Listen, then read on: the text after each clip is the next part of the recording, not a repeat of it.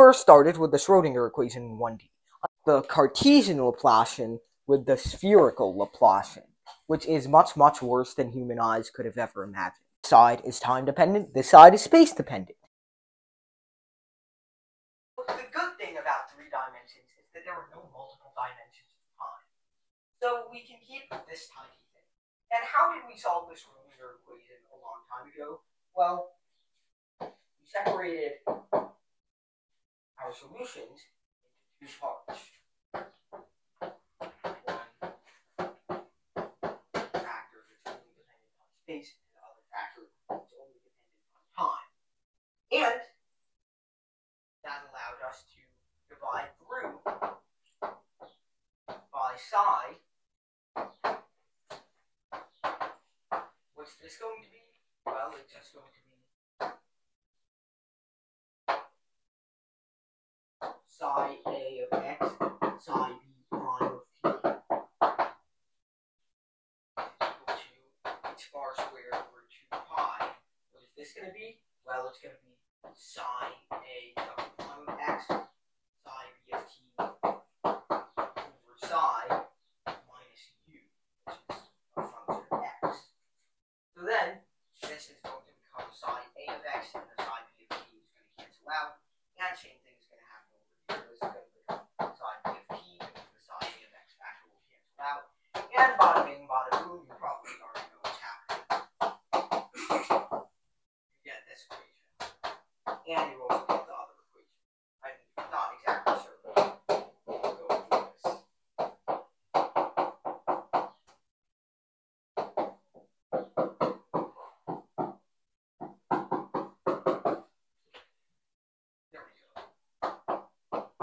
So, unfortunately, this is not what happens in three dimensions.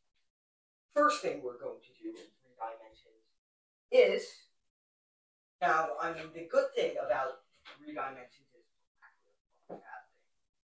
In one dimension, we just have to deal with a number line. We can go forward and backward in space, and forward and backward in time. Everything's all well and good. Now, unfortunately, we can go forward, up, and sideways, even though time is still a. Which means that we have to throw our double position derivative out the window and replace it with the Laplacian. Now, the Laplacian in Cartesian coordinates is actually pretty simple. And you can imagine why it generalizes this way. Unfortunately, friends, we're not going to be working. And the resulting Laplacian formula is so long that it looks like I'm going to have to read it off the laptop. Let's see. The Laplacian is 1 over r squared partial r of r squared partial r. Remember, there's nothing here because the Laplacian is at the end of the day an operator, so it needs to be applied to a function to actually make sense. Then plus 1 over r squared sine theta, theta, uh, partial theta sine theta, partial theta, that's correct. Yes, that's true. Plus 1 over r squared sine squared theta, partial phi. Remember, there are two in spherical coordinates. You have the radius and two different angles to deal with, not just one. That makes things a lot trickier. Psi of, I think it was phi, phi d5. Is that true? No, it's just partial phi, partial phi, which is partial phi squared. Okay, there we go. Isn't it beautiful? Yeah.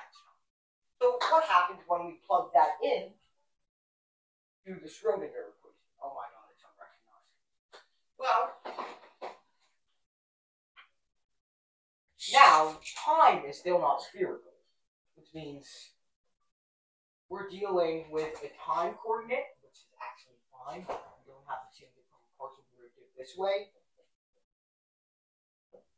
Now we're also dealing with a radial coordinate. Isn't that just great? So we have 1 over r squared, partial r, r squared, partial r, psi, plus 1 over r squared sine theta, partial of theta, I'm mixing up the symbols here, sine theta, partial theta, psi, plus 1 over r squared sine squared theta, partial psi squared, partial phi squared psi. Now this just makes it worse. This is going to be on, Oh god, what do we do? Well, it looks like we'll have to try the classic separation.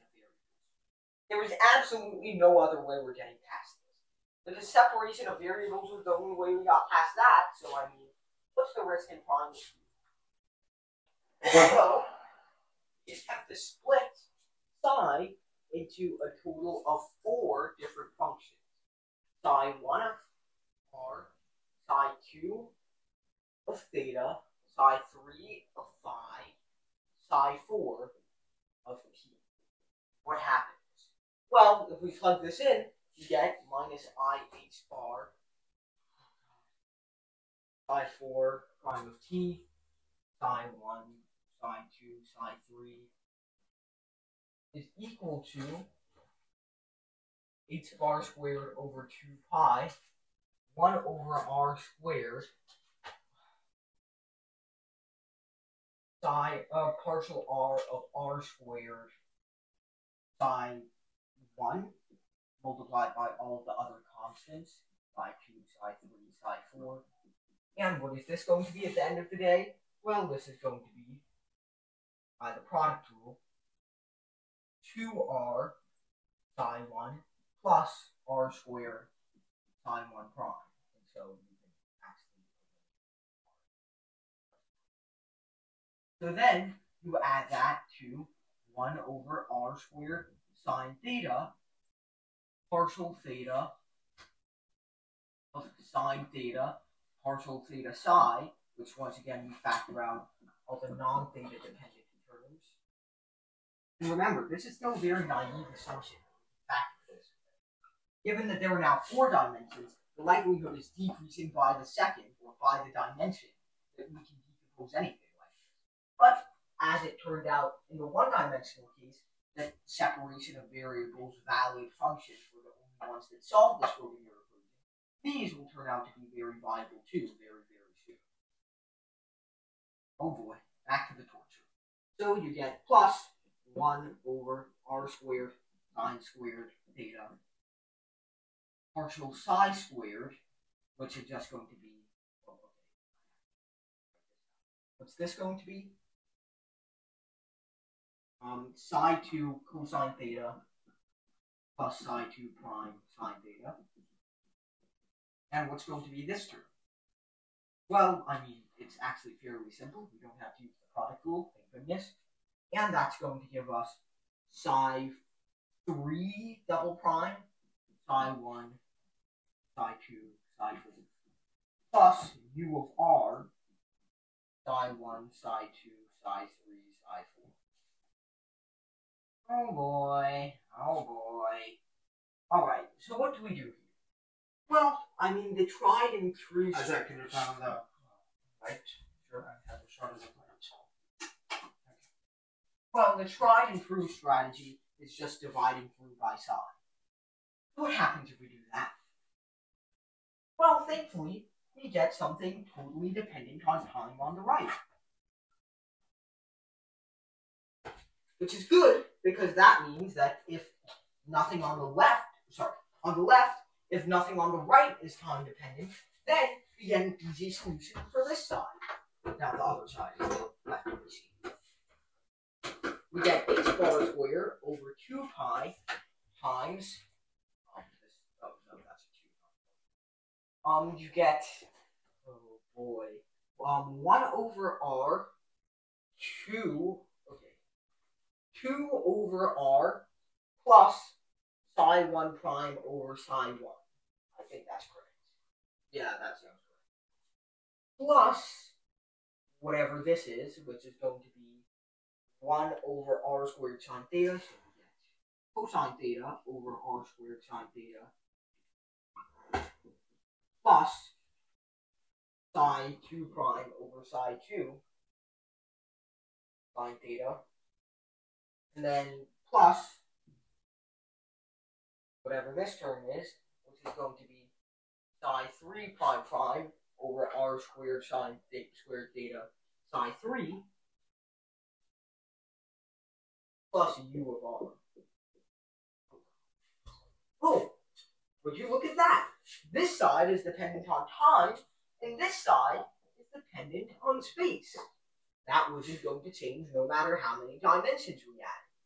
And so, that means that since this is dependent on one variable, and this is dependent on a variable that's not that one variable, these both have to be constant. Hooray! That means that we can solve this the same exact way we solved this part of the equation in single variable or 1D space. This is just going to be e to the minus i h bar some energy state multiplied by time.